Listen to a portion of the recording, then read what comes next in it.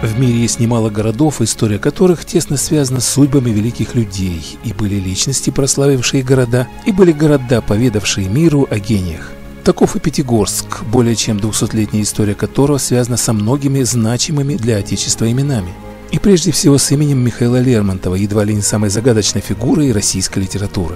Ныне память о поэте бережно сохраняется в Лермонтовском мемориальном квартале сердце Пятигорска – в разные годы здесь бывали весьма известные люди, которые считали своим долгом поклониться памяти великого поэта.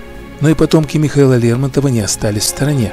В начале 90-х годов в России была учреждена Ассоциация «Лермонтовское наследие» – общественное объединение членов рода Лермонтовых из России, Соединенных Штатов, ряда стран Европы, а также шотландских Лермонтов. Инициатором создания ассоциации и ее неизменным президентом стал Михаил Юрьевич Лермонтов – правнучатый племянник поэта, который волею судьбы родился в Пятигорске. Пятигорск мой родной город. Я родился здесь.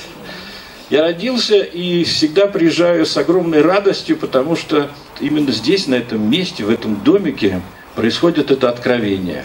Дух дышит где хочет, но когда люди приходят с открытой душой для того, чтобы принять величие нашего великого Лермонтова, он к нам по промыслу и по делам нашим опускается.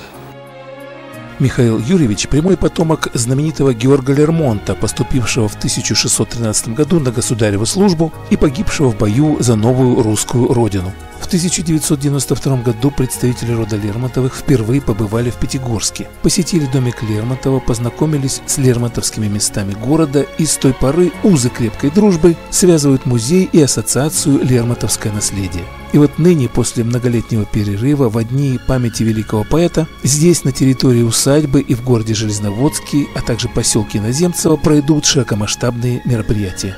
Мы рады приветствовать на нашей Лермонтовской земле представителей рода великого русского поэта.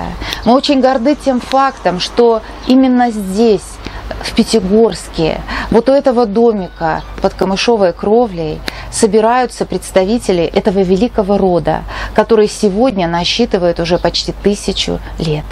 Хочется сказать о том, что наша земля когда-то вдохновляла Михаила Юрьевича Лермонтова. И мы очень надеемся, что и для вас, уважаемые наши гости, эта земля будет поводом для вдохновения, для новых свершений.